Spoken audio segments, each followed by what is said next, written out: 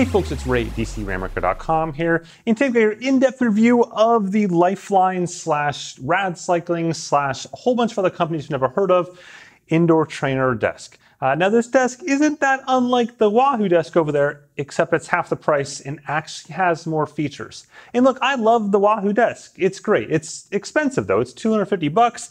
This is roughly half or less depending on which country you're in.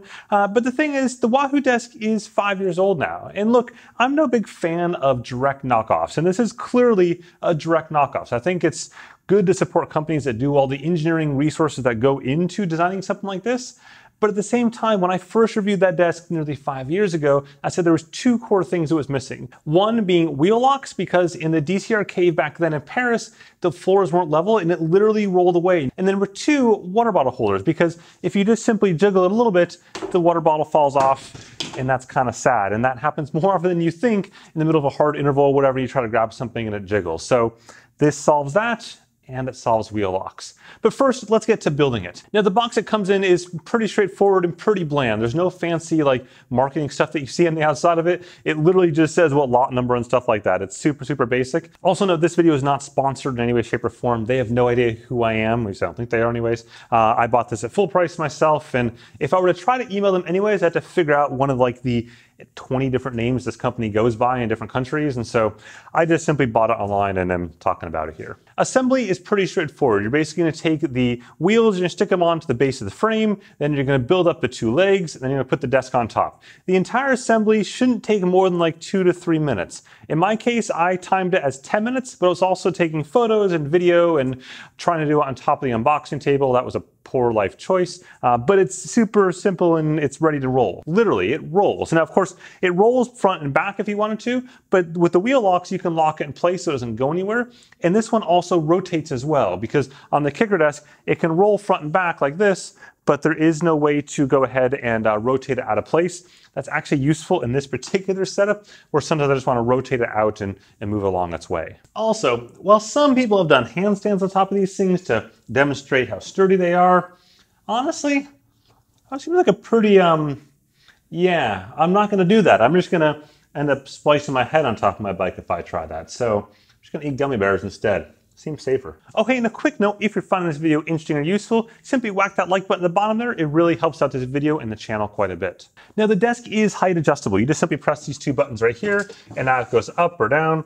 Uh, you want to put some weight on it when you go up or down to keep it locked in place. Uh, you can see here, it's a little bit higher than I have the Wahoo KICKR desk set up, uh, but I can go down to where I had it before at the start of this video, right there. Uh, one thing to keep in mind on clearance is right now, this clears it, no problems, uh, for the most part, just barely. So I probably went a little bit higher if I was using Sterzo, uh, where this was over the top of it. Uh, but again, you can kind of decide what you want there. You can also use it with a KICKR climb, but you got to be careful there as well because eventually the bike will go up and it'll push it over. So I would keep it sort of like this where you just got it just out of range. So when your handlebars go up or down, for example, uh, it's not going to hit the desk itself. Next, the desk has two grooves on it. One is right here and one is right there. And this is for putting your tablet in there. In my case, I've been using iPads for years in the KICKR desk and the same here for this desk.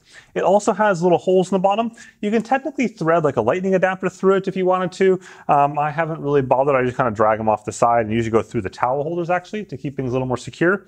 Uh, it's also useful if you spill water or whatever, it'll just drain out the bottom as opposed to making a swimming pool in front of you there. Next, there are the water bottle holders. As you saw, uh, these also have little holes at the bottom of them, uh, or you can use them as a snack holder, which frankly seems like an even better you know distribution of your nutrition strategy here and of course not every trainer ride is going to require like three water bottles or whatever but there are many people doing very long trainer rides and having all your nutrition on top of the table and not going to fall off when you shake it is kind of handy as well. For the most part for me, I tend to leave water bottles up here, nutrition up here, uh, Apple TV remote, which they usually use for uh, doing Zwift. I have the iPad, what I usually use for doing TrainerRoad, uh, and I put my phone up there as well. And then sometimes I've got uh, a lightning or USB-C charging cable for charging things, usually just strung up the side and then done a single loop in the towel holder there.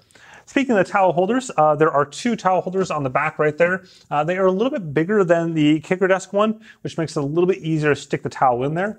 But I find realistically, once I'm on the bike, I don't really want my towel back there. I want it on my handlebars. So that's more of like a looking pretty sort of thing when I'm not riding the bike. Now, one last notable thing is that on the fan down there, the Wahoo Headwind fan, if you do have the Wahoo Headwind fan, it's actually designed to go directly over the bar of the front of the KICKR desk and sort of sit there nice and tidy.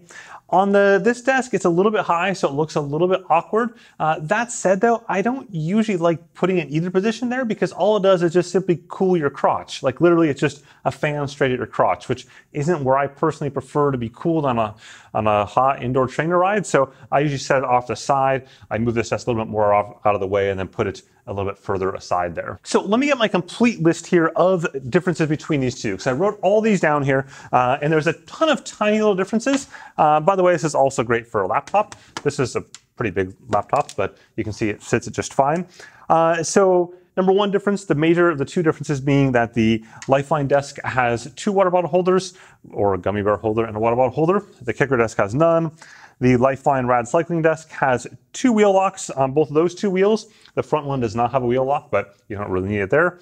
The KICKR desk has none. The Lifeline desk has slightly larger towel holes. The KICKR desk has towel holes, but there's nothing really wrong with either set for the most part. The KICKR desk has better wheels, I would say. Like they're definitely like a nicer rollerbladey looking wheel. I'm not a rollerblader per se, but I would guess that those are much nicer wheels than these ones. Practically speaking, that doesn't really matter. I prefer wheel locks over sexier looking wheels. As noted, the Wahoo desk does fit the headwind fan perfectly if you like it in that position. Also, as you can see down that same general area, the Wahoo's desk's base looks prettier. Uh, looks, you know, it's clearly a more rounded uh, metal versus down on this desk, it's a little bit more non-industrial pretty, if you will. As noted, the wheels on the Lifeline desk do rotate, allowing you to move it out of tight spaces uh, pretty easily, whereas the Wahoo desk just goes front and back.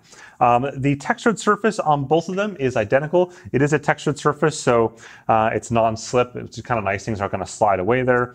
Um, the tablet holder situation, best I can tell, is identical for both of them, uh, meaning it fits tablets just fine. It will not fit my phone though, so like I can't put my phone in there and I can't put my phone in here either with a case on it. Uh, so without a case, no problem of course, but with a case, not so much. The usable surface area is virtually identical on both. You lose a tiny bit um, because of the water bottle holders on the Lifeline desk, but there's way more surface area that I know to do with anyway, so it's, it's pretty much a wash there. And then min-max height adjustment adjustment. Uh, it seems identical on both. In the case of my KICKR desk, I had to permanently screw the screws in years ago, so I can't adjust it any higher to validate that, but my understanding is it should be the same on both of them. So there you go. I'm pretty happy with this knockoff desk. Again, for saving half the price, you can get two of them for the price of, of that. Um, there's nothing wrong with the KICKR desk. I love where Wahoo innovated in that category, but I think five years on, it's, it's probably time to innovate a bit more. I would love to see uh, power USB ports added in this. We saw Saris do that with their TD1 desk, and I've actually got that just behind the camera to unbox and get started on that. They've got two USB ports and two regular power ports. Uh, so that's kind of the direction I would like to see here, at least the USB ports. I think that's probably the biggest one. It'd be great to see like a couple of USB-C would be nice, maybe a couple of just kind of regular USB, uh, USB-A I think it is.